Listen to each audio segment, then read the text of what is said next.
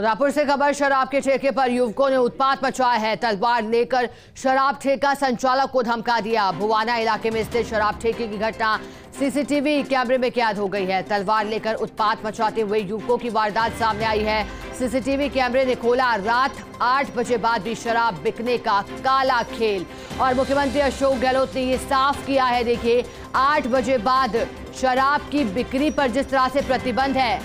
और अब देखिए पहली बात तो उत्पात मचाया और फिर ये जो खेल पूरा सामने आया है। और चलिए, हमारे साथ सहयोगी रवि शर्मा उदयपुर से जुड़ गए हैं। रवि, एक सीसीटीवी कैमरे की तस्वीरें हम देख पा रहे हैं। जरा इन्हें बताइए कि क्या ये पूरा मामला रहा? कौन ये युवक है जो युवक है जिन्होंने उत्पात मचाया है?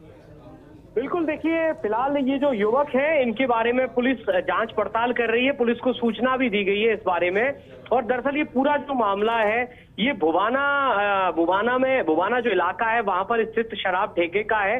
सबसे बड़ी बात, सबसे गंभीर बात ये कि आठ बजे बाद भी वहाँ पर शराब की बिक्री हो रही थी और किस तरीके से जो लोग हैं, जो खरीदार हैं, आठ बजे बाद भी उनको शराब आसानी से मिल पा रही है, जो ठेके के बाहर एक नीचे की तरफ़ एक बॉक्स सा बॉक्स जैसा कुछ बना हुआ है, उसमें से शराब का आदान प्रदान हो रहा है।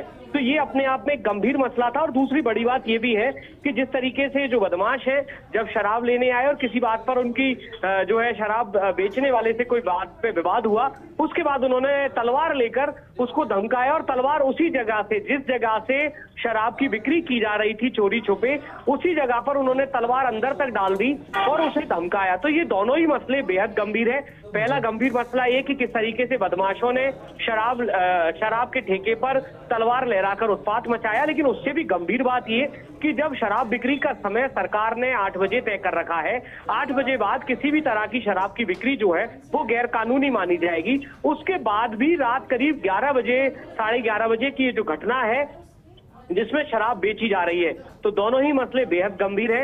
आबकारी विभाग को, पुलिस विभाग को इस बारे में संज्ञान लेना चाहिए और जो भी आरोपी हैं, उनके खिलाफ कड़ी कार्रवाई भी होनी चाहिए ताकि भविष्य में ना इस तरह की संगीन वारदातें हो जिनमें बदमाशों को इस तरीके से तलवार लहराने का मौका मिले और ना ही शराब की बिक्री जो है, वो तय समय के बाद हो, जो की सरकारी नियम है। जी। रवि, क्या इन युवकों की पहचान कर ली गई है? और दूसरी बात, अब किन धाराओं के तहत जब ये सीसीटीवी फुटेज, क्योंकि हम भी दिखा रहे हैं लगातार फ़र्स्ट इंडिया पर। अब जब ये मामला संज्ञान में जाएगा, इसके बाद किन धाराओं के तहत इन युवकों पर कार्रवाई की जा सकती है? क्योंकि एक नहीं, बल्कि दो दो नियम जिन्हें इन बदमाशों ने तोड़ा है।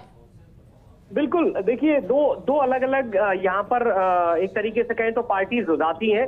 पहली जो ये आरोपी युवक है, जो सरेआम तलवार लहरा रहे हैं तो ज़ाहिर सी बात है, आर्म्स एक्ट में इनके खिलाफ मुकदमा बनता है। शराब की दुकान पर जाकर डराना, धमकाना, लूट की नीयत से जाना, ये तमाम जो मुकदमे हैं, ये इन पर बनते हैं। दूसरी तरफ़ जो शराब विक्रेता है, जो ठेका संचालक है, उस पर भी गैरकानूनी तरीके से नियत निर्धारित जो समय सीमा है आठ बजे की, उसके बाद शराब बेचने का, चोरी छुपे शराब बेचने का जो मामला है, वो एक्साइज डिपार्टमेंट इस बात को देखेगा कि क्या ये जो शराब ठेकेदार है, इसके खिलाफ भी कड़ी कार्रवाई अमल में लाई जाए, ताकि इस तरीके से जो शराब का अवैध बेचान जो है, वो ना हो सके। चलिए, रवि, बहुत शुक्रिया आपका मैसेज जुड़ने के लिए, पूरी बातचीत के लिए।